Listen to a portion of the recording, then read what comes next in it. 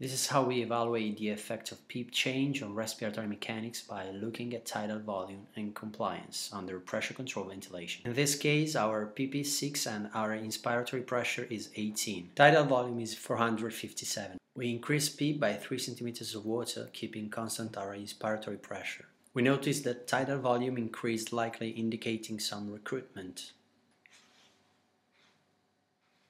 If we increase PEEP to 12, we again see tidal volume has increased with further recruitment.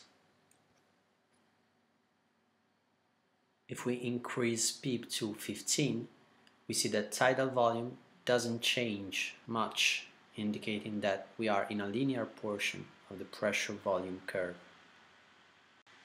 As expected, if we increase PEEP even further, we notice that tidal volume begins to decrease, likely because we are in a portion of overdistension, and it decreases even further if we increase PEEP more.